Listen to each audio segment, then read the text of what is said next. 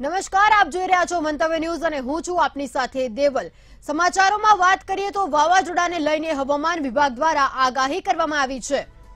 બિપોરજોય વાવાઝોડાનો ગુજરાત પર ખતરો. બિપોરજોય વાવાઝોડું પોરબંદરથી અત્યારે ત્રણસો કિલોમીટર દૂર છે, ત્યારે દ્વારકાથી ત્રણસો કિલોમીટર દૂર છે.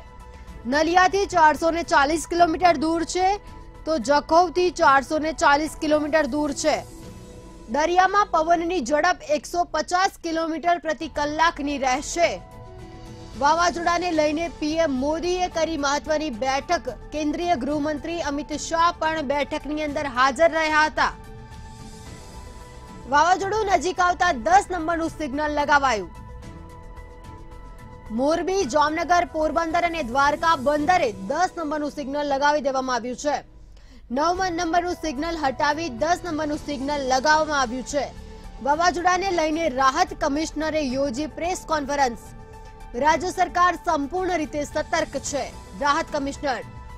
ચોવીસ હજારથી વધુ બોટ લાંગરી દેવામાં આવી છે તેવું રાહત કમિશનરનું કહેવું છે. હવામાન વિભાગ દ્વારા વાવાઝોડાને લઈને આગાહી કરવામાં આવી છે. બિપોરજોય વાવાઝોડાનો ગુજરાત પર ખતરો બિપોરજોય વાવાઝોડું અત્યારે ગુજરાતથી, એટલે કે પોરબંદરથી ત્રણસો વીસ કિલોમીટર, દ્વારકાથી ત્રણસો સાઠ કિલોમીટર, નલિયાથી અને જખૌથી ચારસો ચાલીસ કિલોમીટર દૂર છે. દરિયામાં પવનની ઝડપ એકસો પચાસ કિલોમીટર પ્રતિ કલાકની રહેશે. વાવાઝોડાને લઈને પીએમ મોદીએ પણ સમીક્ષા બેઠક યોજી હતી, જેની અંદર કેન્દ્રીય ગૃહમંત્રી અમિત શાહ હાજર રહ્યા હતા.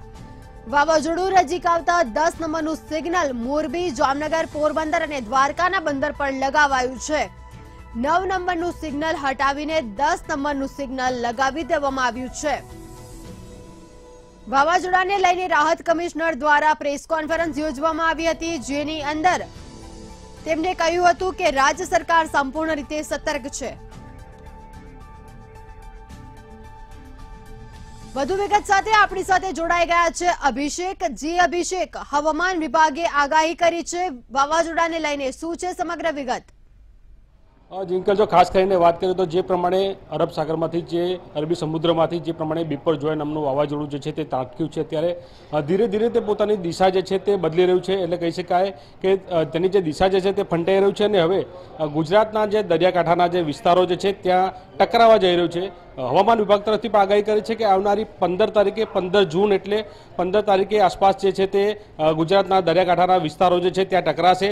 અને તેને લઈને હવામાન વિભાગ તરફથી આગાહી કરી છે કે આવનારા દિવસોમાં શહેર સહિત રાજ્યભરમાં અલગ અલગ જગ્યાઓ પર જે છે તે ભારે વરસાદ સાથે, ગાજવીજ સાથે વરસાદ પડવાની સંભાવનાઓ છે. સાથે સાથે કહી શકાય કે જ્યારે ટકરાશે ત્યારે વાવાઝોડાની જે તીવ્રતા જે છે તે એકસો પચીસથી લઈને દોઢસો કિલોમીટરની રફતાર સાથે તે દરિયાકાંઠાના વિસ્તારો સાથે ટકરાશે. એટલે કહી શકાય કે દરિયાકાંઠાના જે વિસ્તારો જે છે ત્યાં તંત્ર દ્વારા કેવા પ્રકારના પગલાં લેવામાં આવે છે તે અને અત્યારે હાલમાં શું વાતાવરણ જે વાવાઝોડાની જે પરિસ્થિતિ શું છે તેની માટે આપણી સાથે ન્યૂઝ રૂમથી મારા સહયોગી અનિતા પરમાર જોડાય છે. આપણે વધુ વિગત તેમની સાથે જાણવાનો પ્રયત્ન કરીશું. અનિતા, જે પ્રમાણે અત્યારે હાલ ચક્રવાત સર્જાયો છે અને ધીરે ધીરે ગુજરાતના દરિયાકાંઠાના વિસ્તારો સાથે તે આગળ વધી રહ્યું છે શું પરિસ્થિતિ છે, શું કહેશો? અત્યારે હાલ આપણે વાત કરીએ તો જે ચક્રવાત સર્જાયું છે અને જે વાવાઝોડું છે એ ધીમે ધીમે આગળ વધી રહ્યું છે, જેટલા પણ દરિયાના વિસ્તારો છે આપણા આ બધા જ વિસ્તારો ઉપર અત્યારે હાલ તંત્રની ચાંપતી નજર છે. તંત્ર દ્વારા તમામ તૈયારીઓ છે તે કરવામાં આવ્યું છે. એનડીઆરએફની જે ટીમ હોય છે તે અત્યારે દરિયાઈ વિસ્તારોમાં તૈનાત છે. જેટલા પણ આપણા બંદરો છે, આ બધા જ બંદરો ઉપર નવ અને દસ નંબરનું સિગ્નલ લગાવી દેવામાં આવ્યું છે. નવ અને દસ નંબરનું જે સિગ્નલ છે એ જ્યારે એકસો ને પચીસથી એકસો પાંત્રીસ સુધીનો જ્યારે પવનની ગતિ હોય છે ત્યારે લગાવવામાં આવે છે. એટલે આ જે વાવાઝોડું છે, એ વાવાઝોડું ધીમી ધીમી ગતિએ આગળ વધી રહ્યું છે અને અત્યારે હાલ આ જે વાવાઝોડું છે એને ચારસો ને ચાલીસ કિલોમીટરની ઝડપથી ચારસો ને ચાલીસ કિલોમીટર દૂર છે અત્યારે હાલ. એટલે આ જે વાવાઝોડું છે એ આગળ વધી રહ્યું છે અને દરિયા કિનારાના જેટલા પણ વિસ્તારો છે, આ બધા જ વિસ્તારો ઉપર જે એનડીઆરએફની ટીમ અને બચાવ કર્મીઓ હોય છે તે સાથે સાથે કંટ્રોલ રૂમ પણ તૈયાર કરવામાં આવ્યો છે. અને આ કંટ્રોલ રૂમ છે ચોવીસ કલાક સુધી ત્યાં આગળ કાર્યરત રહે છે અને દરિયાઈ વિસ્તારના જેટલા પણ લોકો હોય છે તે લોકોને દૂર ખસેડવામાં આવ્યા છે. પચાસથી પણ વધારે ગામના લોકો છે તે લોકોને સ્થળાંતર કરવા માટેની તંત્ર દ્વારા જે તૈયારીઓ હાથ ધરવામાં આવી છે. સાથે જ માછીમારો જે છે તેમને દરિયો ના ખેડવા માટે થઈને પણ જે તંત્રએ કહી દીધું છે કે તમારે દરિયો નથી ખેડવાનો. સાથે જ હર્ષ સાથે જે પીએમની હમણાં જે સમીક્ષા બેઠક થઈ ત્યારે હર્ષ પણ જે દ્વારકા છે ત્યાં ના જવા માટે થઈને લોકોને અપીલ કરી છે. તો અત્યારે હાલની જે પરિસ્થિતિ છે, પરિસ્થિતિમાં એવું છે કે ગુજરાતની માથે અત્યારે હાલ આ જે વાવાઝોડું છે, તેનું સંકટ મંડરાઈ રહ્યું છે. અને આગામી જે પંદર જૂન છે, જે કહેવાઈ રહી છે હવામાન વિભાગ તરફથી કે પંદર જૂને ભારે પવન ફૂંકાશે, વાવાઝોડું આવશે અને સાથે વરસાદ પડશે. અને આ જે વાવાઝોડું છે, એ ખૂબ જ તબાહી મચાવશે તેવું પણ કહેવાય રહ્યું છે. જી.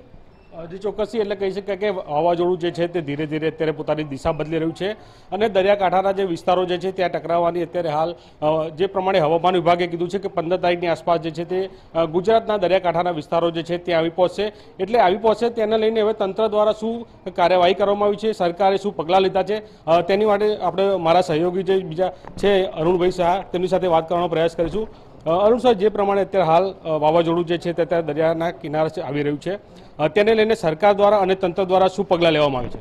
અભિષેક, સૌ પ્રથમ હું જણાવી દઉં કે ગુજરાતમાં જે રીતે આપત્તિને અવસરમાં પ્રલટવાનો પ્રયાસ કરવામાં આવે છે અને તેના સંદર્ભમાં જે સરકાર, ગુજરાત સરકાર અને વહીવટીતંત્ર, એટલું જ નહીં પરંતુ અત્યારે જે પરિસ્થિતિ પ્રવર્તી છે, સૌ પ્રથમ હું કહી દઉં કે ગુજરાતના છ જિલ્લા સાત જિલ્લા પ્રભાવિત થવાની જે સંભાવના હવામાન વિભાગ દ્વારા વ્યક્ત કરવામાં આવી છે એટલું જ નહીં, પરંતુ અત્યારે આપણે આ પરિસ્થિતિ સમગ્ર ગુજરાતના સમુદ્ર કાંઠાના જે વિસ્તારો છે, જે જિલ્લાઓ છે, તેમાં જોઈ રહ્યા છીએ, અનુભવી રહ્યા છીએ.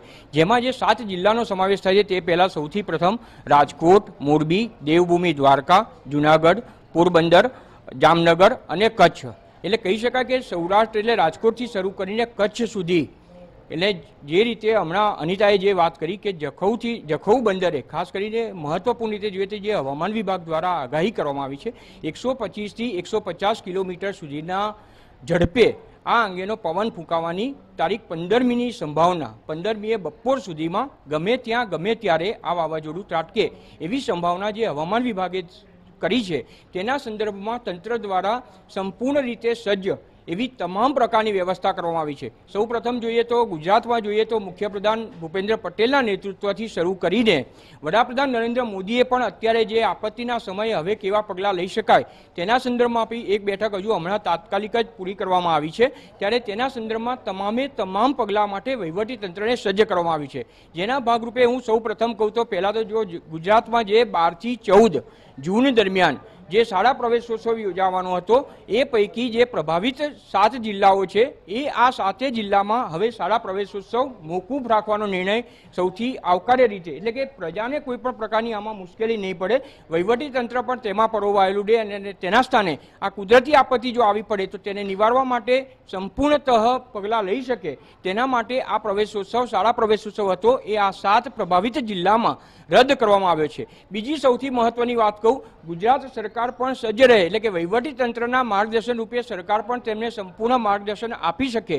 તે હેતુથી તમામ સરકારના સિનિયર મંત્રીઓ એટલે કેબિનેટ કક્ષાથી શરૂ કરીને છેલ્લે રાજ્ય કક્ષાના મંત્રીઓ સુધી પણ સરકારને અત્યારે ત્યાં જે તે પ્રભાવિત જિલ્લામાં મોકલી આપવામાં આવ્યા છે અને તેઓ પણ ત્યાં પહોંચી ગયા છે અને સંપૂર્ણતઃ વહીવટી તંત્રને માર્ગદર્શન આપી રહ્યા છે કયા પ્રકારના આગોતરા પગલાં લઈએ કે કોઈપણ પ્રકારની પરિસ્થિતિ સર્જાય તો તેને નિયંત્રણમાં લઈ શકાય તે પ્રમાણે તેમની સીધું માર્ગદર્શન એટલે કે જે તે મંત્રીનું સીધું માર્ગદર્શન તમામ વહીવટી તંત્રને પ્રાપ્ત થઈ રહ્યું છે. બીજી સૌથી મહત્વની વાત કરીએ સ્થળાંતરવાળા વિસ્તાર સ્થળાંતરિત એટલે કે નીચાણવાળા વિસ્તારમાં જ્યાં જ્યાં પાણીનો ભરાવો થાય છે અથવા વાવાઝોડાની અસર થવાની સંભાવના વિશેષ રહેલી છે કોઈપણ આપત્તિજનક પરિસ્થિતિ સર્જાય એવી વિશેષ શક્યતા રહેલી છે, તેવા પરિવારોનું એટલે કે નીચાણવાળા વિસ્તારોમાં પણ જે લોકો સ્થાયી થયા હોય તેઓને સ્થળાંતરિત કરવાના તમામ પગલાં પણ લેવામાં આવી રહ્યા છે. એકંદરે કહી શકાય કે અત્યારે જે વડાપ્રધાન નરેન્દ્ર મોદીના નેતૃત્વમાં જે બેઠક યોજાઈ, તેમાં પણ કેન્દ્રીય એજન્સીઓના નેતા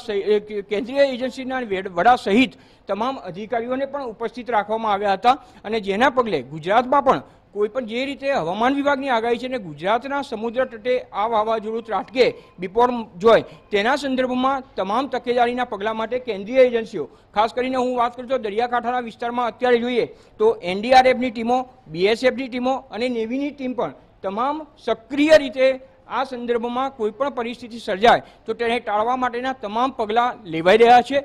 હાલના તબક્કે જોઈએ તો ગાંધીનગરથી શરૂ કરી, ટૂંકમાં આપણે કહીએ ગાંધીનગરથી શરૂ કરીને દિલ્હી અને જે તે પ્રભાવિત જિલ્લા છે, ત્યાં સમગ્ર વહીવટીતંત્ર, તમામ અધિકારીઓની રજા કેન્સલ કરવામાં આવી છે. વિદ્યાર્થીઓની સ્થિતિ જોઈએ તો વિદ્યાર્થીઓને માટે શાળાઓમાં પણ રજા જાહેર કરવામાં આવી છે. આ પ્રકારે કોઈ પણ વિકટ પરિસ્થિતિ સર્જાય અને ખાસ કરીને જો વડાપ્રધાન નરેન્દ્ર મોદીની જે વાત કરીએ, તો જે રીતે આપત્તિને અવસરમાં પરિવર્તિત કરવા માટે સૌ કોઈ તનતોડ, જહેમત અને મહેનત ઉઠાવી રહ્યા છે, તેમાં લાગી જવું જોઈશે, તો આ પરિસ્થિતિ પણ ગમે તે પરિસ્થિતિ સજાય હાલના તબક્કે જે છેલ્લી માહિતી મળી છે તે મુજબ, દસમા નંબરનું સિગ્નલ પણ, જે દસ નંબરનું સિગ્નલ છે એ ભયજનક કહેવાય. અત્યારે જે પરિસ્થિતિ હજુ હમણાં જ જે ટેલિફોનિક માહિતી પણ મળી છે અને ગાંધીનગર સ્થિત state emergency operation centre SEOC તેમાંથી પણ જે માહિતી મળી છે તે મુજબ નવ અત્યાર સુધી જે નવ નંબરનું સિગ્નલ હતું, તેના સ્થાને હવે દસ નંબરનું સિગ્નલ પણ લગાવી દેવામાં આવ્યું છે. આ પ્રકારે એકંદરે અભિષેક ચોક્કસ રીતે કહી શકાય કે ગુજરાતમાં સરકાર છે, વહીવટીતંત્ર છે, એમ જ માર્ગદર્શન જો જોઈએ, તો વડાપ્રધાન નરેન્દ્ર મોદીના નેતૃત્વની કેન્દ્ર સરકારનું માર્ગદર્શન પણ પડે પડે લેવામાં આવી રહ્યું છે અને મીડિયા પણ અત્યારે